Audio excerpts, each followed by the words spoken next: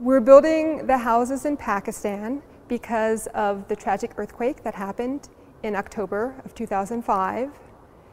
It's an ideal building solution for developing countries because it's earthquake safe, it's affordable, it's energy efficient, and it uses locally resourced materials.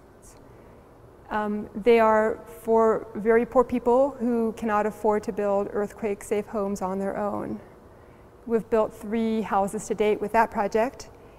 Um, and our goal is to train the local people in this construction method to give them the tools that they need um, to, to build earthquake safe homes.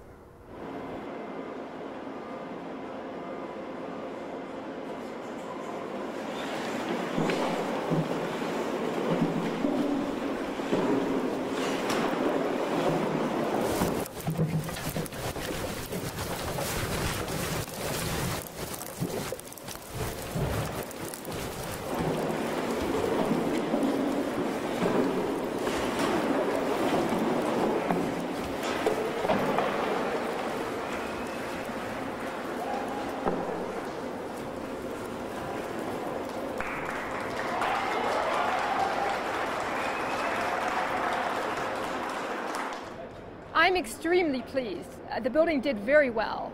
It was subjected to twice the Northridge earthquake, an acceleration of 0.82 Gs, which is a very high acceleration. That would have been more than the Kashmir earthquake in Pakistan in 2005.